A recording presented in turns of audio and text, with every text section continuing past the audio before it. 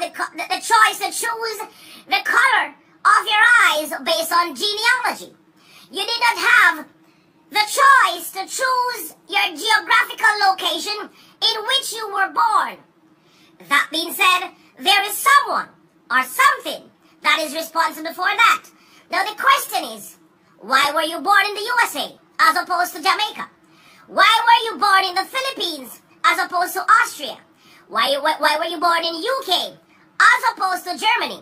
Why were you born in South Africa as opposed to Nigeria? Um, why were you born in Ghana as opposed to Kenya? Why did you speak Swahili as opposed to French? All these questions, you did not choose them. So the person who, the person or the being who chose that for you, then you got to know the reason why. You were born at where you were born, to the family in which you were born, for a particular purpose. And you will never know your purpose, you will never know why you were born there, until you know who caused you to be there.